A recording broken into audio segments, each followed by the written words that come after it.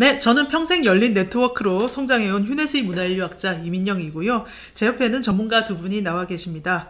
유대인의 네트워크를 연구하고 계신 유대인 전문가 홍익희 교수님. 예, 안녕하세요. 네, 그리고 탈무드의 네트워크를 연구하고 계신 탈무드 전문가 김정환 대표님. 네, 미스터 탈무드 김정환입니다. 반갑습니다. 네. 네트워크가 참 많은 뜻이 있는데 저는 인터넷 네트워크로 인생이 좀 만들어진 것 같아요. 제가 어릴 때부터 하이텔을 만나서 천리안 나우누리 이런 거 해왔고 인터넷 동호회죠. 네. 그다음에 다음 네띠양, 네이버, 페이스북, 유튜브 같은 평생 제가 만난 사람들은 거의 인터넷 커뮤니티에서였어요. 네, 네. 네, 그리고 외국 장기 여행 다니면서 만난 사람들도 이런 네트워크로 계속 관리해서 이제 이 사람들 통해서도 많이 컸고 그러니까 혈연, 학연, 지연보다 완전 몰랐는데 인터넷 통해서 만난 이런 네트워크가 제 삶의 더 중심이 된 것 같더라고요. 두 분은 어떠세요?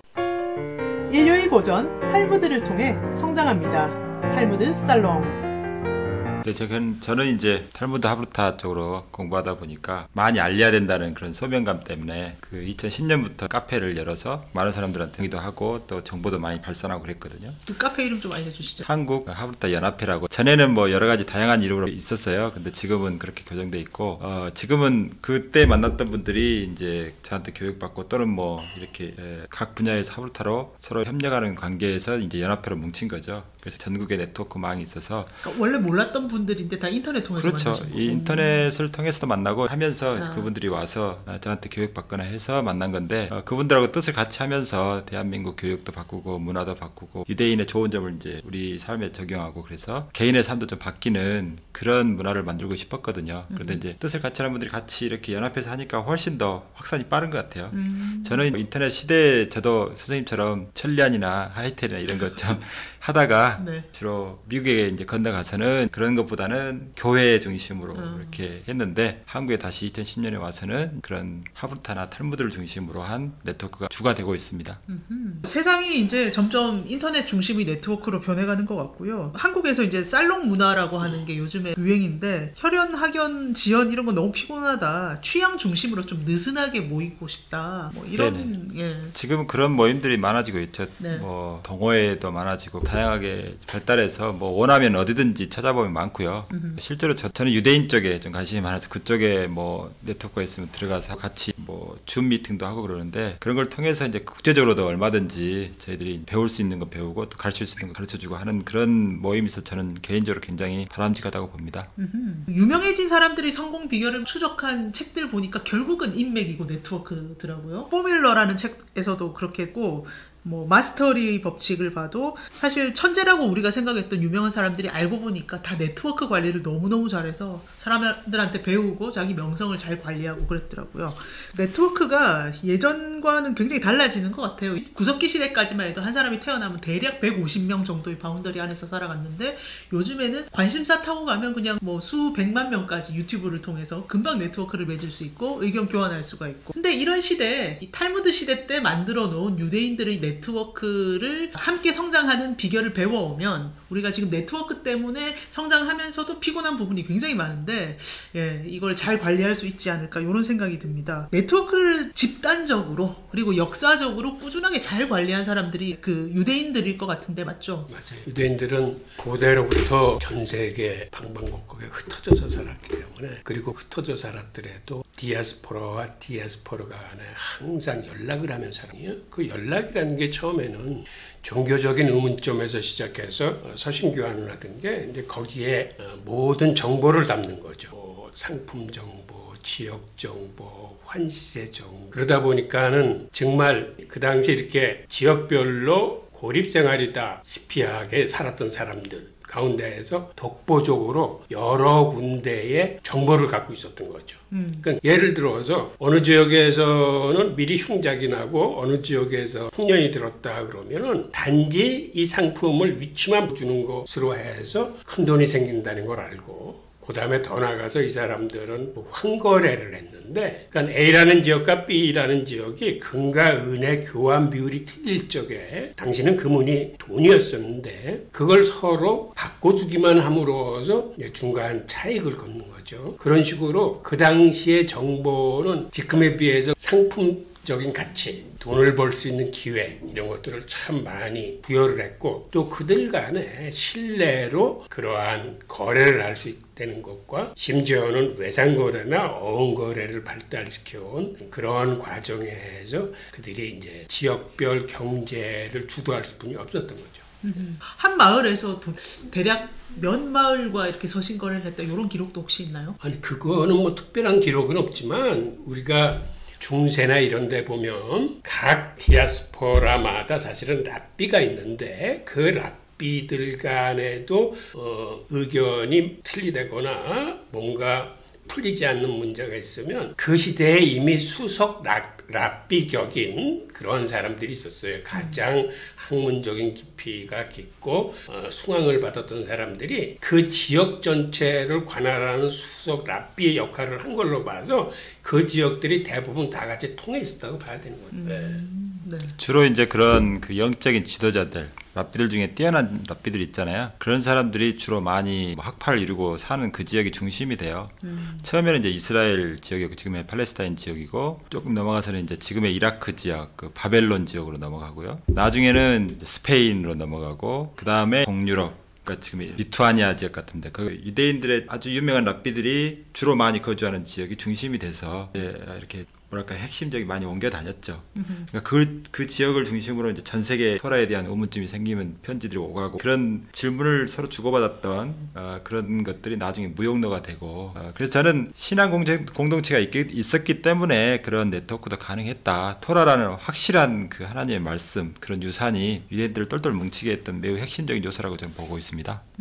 그러면 한 랍비가 유럽 곳곳에 계속 편지를 왔다 갔다 했을 거고 그게 기간이 뭐 2000년 넘게 계속 네, 그렇죠. 지속되어 왔을 텐데 그 과정에서 이 네트워크를 잘 유지하기 위해서 서로 만든 뭐 규칙이라든가 법률이라든가 이런 게 있을 것 같아요. 그런 거 이제 탈무드죠. 탈무드 안에 구체적인 그런 율법들, 상거래 할 때 율법들 그런 게 다 있어요. 뭐 이익은 6분의 1 이상 남기지 마라. 그 다음에 상거래 할 때 책임질 일이 있으면 고객한테 그 정보를 정할 때 반드시 그 흠 있는 것도 다 제공해서 그 고객이 충분히 그 물건을 선택하는데 그 참작해서 하라고 그런 것도 있고 연기 속이지 말고 줄자 속이지 말고 도량형 속이지 말라고 많이 이야기하거든요. 이제 그런 것들이 탈무드에 구체적으로 사례별로 이 토론하는 게 내용이 많이 나옵니다. 이제 그런 것들이 상거래할 때 매우 중요한 율법을 만드는 하나의 참고 자료거든요. 그런 게 있었기 때문에 훨씬 더 쉽게 아, 유대인들이 네트워크를 만들지 않았을까. 그러니까 이런 어떤 플랫폼을 만드는데 유대인이 굉장히 강하거든요. 구글도 하나의 플랫폼이고 페이스북도 하나의 플랫폼이고 지금 호텔스닷컴 이런 것도 네. 하나의 플- 플랫폼이거든요. 이 플랫폼을 만들려면 이 프로토콜 규칙을 잘 만들어야 돼요. 음, 그 규칙을 잘 만드는 게 유대인들이에요. 워낙 법에 대해서 잘 하니까 상세하게 어떤 경우에 어떻게 대처하고 이런 것들이 잘 돼 있기 때문에 프로토콜 어, 마- 잘 만들고 그걸 바탕으로 플랫폼을 잘 만들 수 있는 거죠. 그러니까 제가 부- 부럽게 생각하는 게 그런 유산들이 정말 어, 유대인들을 강하게 만드는데 그걸 귀하게 여겼다는 거죠. 문화적 유산들을 그게 이제 유대인들 하나님한테 오고 그 계약의 민족이다 보니까 계약에 대해서 굉장히 중요하게 생각하니까 그런 전통들이 지금까지 이어와서 사업적으로 번창한 것이 지금의 유대인들이다. 저는 그렇게 보, 보고 있습니다. 탈무드에 이익을 1 이상 남기지 말라라는 그런 네, 있어요. 예. 16% 정도. 사실 네트워크를 갖고 있으면 막 분쟁이 생길 요- 여지 가 많잖아요. 근데 그거를 계속 정교하게 네네. 고쳐가면서 서로 협상해가면서 서로 합의를 이루어가면서 어, 네트워크를 잘 유지하기 위해서 각종 지혜를 모았는데 그게 기록으로 다 남아 있잖아요. 네네. 탈무드에 네. 아주 그 제가 특히 연구하는 분야가 그거예요. 너지킨이라고 네 번째 주제거든요. 네. 탈무드는 주제별로 돼 있잖아요. 네 번째 주제가 이런 비즈니스 거래에서 서로 책임을 질 일이 뭐고 또 어떻게 배상하고 이런 거래 속에서 생기는 수없이 많은 문제들을 논의하고 있는데 그런 것들을 보면 정말 정교하게 토론을 합니다. 되게 어려운 부분이에요. 저도 처음에 못 모르고 선택했다가 조금 다른 쉬운 분 쉬운 거 놔두고 왜 제일 어려운 걸 선택했냐 그러는데 예, 어쨌든 부분- 오늘날에 계속 배울 점이 많기 때문에. 아, 그럼요. 저는 정말 그거 하고 싶어요. 네. 우리나라에서 다른 주제들은 굉장히 정교적이에요. 네네. 그래서 그거는 유대인만 좀 써먹을 건데 이거는 상업 거래라 모든 그 인류가 다 배워도 괜찮을 그런 거거든요. 근데 되게 복잡하고 어렵지만 네. 제가 번역한 책 중에서는 유대인 비즈니스의 비밀 탈무드라는 책에 조금은 기록되어 있는데 그것도 충분하진 않지만 그런 것들을 앞으로 좀 연구해서 책으로 내고 싶은 생각이 있습니다. 음. 네. 그러면 너지킨에 나오는 그 탈무드의 지혜가 사실 천년, 이천년 전에 쓰여진 것들을 네네. 재해석한 거지만 네. 그게 또 미국 랍비가 재해석한 거죠. 그 아, 예, 책이. 케헤나, 예. 예. 그러면 한국에 좀 가져와서 우리도 배우고 싶은데 근데 한국 사람들이 예. 그런 것 좀 굉장히 어려운 어려운 분야거든요. 네. 그래서 그 부분을 쉽게만 배우려고 하는 사람들이 많아서 굉장히 머리도 많이 써야 되고 복잡하거든요. 네. 그래서 저도 그걸 해야 되나 그런 걸 배울 사람이 몇, 몇 명이나 있을까 뭐 그런 걱정도 들고요. 제가 공부할 때 너무 어려운데 네. 그런 비즈니스 하는 사람들은 굉장히 좋은데 호텔스닷컴 사장이 그 이야기한 것도 있잖아요. 이제 그런 걸 통해서 우리가 어, 배울 점이 많지만 굉장히 배우기 어렵다는 것이 우리가 접근하는데 약간 장애물이 돼요. 유대인들이 사실은 굉장히 까칠한 사람들이에요. 네. 그래서 100명이 모이면 100명의 의견이 다 틀려. 네. 그런데 어떻게 이런 네트워크를 통해서 그 단결을 할 수 있고 그 같이 힘을 모을 수 있냐면 문제가 생겼을 때 그거를 중재하고 재판하는 사람이 사실은 랍비예요. 네. 어떤 형사적인 법정에 가지 않더라도 그 랍비가 그걸 대부분 다 처리를 하는데 그래서 유대교는 사실은 랍비 유대교라고 불려요. 그렇죠. 어, 랍비가 사제가 아님에도 랍비 중심으로 이렇게 흘러가. 그런데 나 독단적으로 그런 걸 처리하는 게 아니고 그 양반이 탈무드라는 이런 국제법 음, 기본 정신을 가지고 거기서 합당한 이론과 그 저거를 찾아내는 때문에 일단 공동체 안에 있는 유대인들은 그 가장 확실히 많은 랍비의 의견에 순응을 하는 거예요.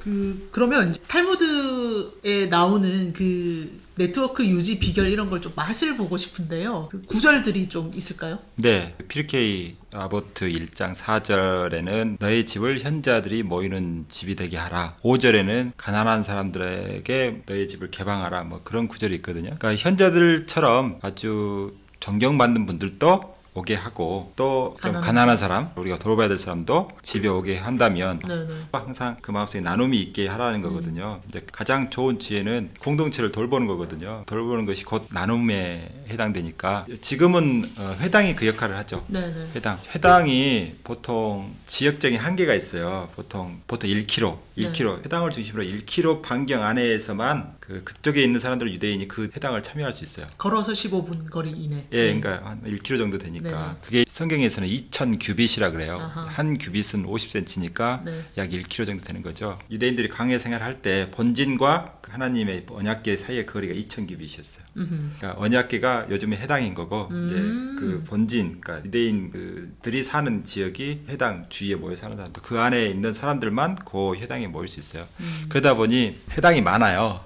같은 지역에 얼마 안 되는 그 유대인 지역이라도 그렇게 쪼개 네. 구역 구역처럼 돼 있기 때문에 해당이 굉장히 많습니다. 그러다 보니 어, 서로 서로 돕는 그런 게 굉장히 잘 돼 있고요. 서로 구역 싸움도 하지 않고 예, 자연스럽게 자기가 가장 가까운 데 가면 되는데 어쨌든 이런 가난한 사람과 현자들이 모이는 역할을 지금은 회당이 하고 있어서 이게 유대인 공동체에서는 엄청나게 중요한 기관이죠. 거기서 수없이 많은 일들 하잖아요. 예배도 보고 공부도 하고 또한 가난한 사람도 돌보는 그런 구제 사업도 많이 하기 때문에 이런 게 꼭 있어야 된다. 그러니까 우리가 어떤 네트워크를 구성했을 때 그 사람들이 모일 장소, 오- 온라인이든 오프라인이든 이런 모임 주도하고 이걸 이끌 수 있는 구심점이 있다면 훨씬 더 네- 네트워크가 잘 될 것이다. 저는 그렇게 보고 있습니다. 옛날에는 랍비가 자기 생활비를 자기가 벌어야 됐어요. 예를 들어서 무역을 한다 그러면 그 무역이 사실은 랍비 중심으로 되는 거야. 왜? 랍비를 통해서 정보가 모이기 때문에. 그렇죠. 그리고 그 랍비가 그 시나고고를 운영하기 때문에 유대인한테 시나고고라는 건 사실은 학교, 학교라는 의미가 더 커요. 가서 예배를 보는 것보다. 그래서 그 아이들 불러 모아서 의무 교육을 시켜주고 그 다음에 시나고고의 또 중요한 특징이 뭐냐면 거기 쿠파가 있어가지고 그 공동체 모든 복지 제도가 거기서 이루어져. 쿠파에서 생활비를 가져간다거나 거기서 아이들 교육을 책임진다거나 그다음에 뭐 의료, 장례 뭐 이런 식으로. 그러니까 자기 공동체를 벗어나면 유대인들은 사실은 혼자서는 살아갈 길이 없어요. 그러한 모든 게 이 탈무드의 아래에서 행해지는 거기 때문에 공동체 이론들도 사실은 탈무드를 잘 알아야지. 그리고 잘 모르면 랍비한테 물어보고 랍비의 뜻에 쫓아가고 하니까 그런 식으로 그들이 살았기 때문에 사실은 2000년 이상을 버틴 거예요. 그러니까 거기서 못 사는 사람, 병든 사람, 약한 사람, 늙은 사람을 다 케어를 해줬거든. 그게 어떤 의미에서 보면은 일종의 사회주의 시스템이지. 공- 심지어는 공산주의 시스템이지. 그러니까는 버는 건 능력껏 벌되 일단 파라는 그 복지 시스템에 돈을 내놓으면은 그거는 어, 공동체 약자를 우선적으로 케어하면서 쓰는 거니까. 그런 식으로 그들은 2000년 이상을 살아왔기 때문에 그 사실은 자본주의 이론이나 공산주의 이론이 사실은 그 유대인들 디아스포라의 삶의 방식에서 다 나온 거예요.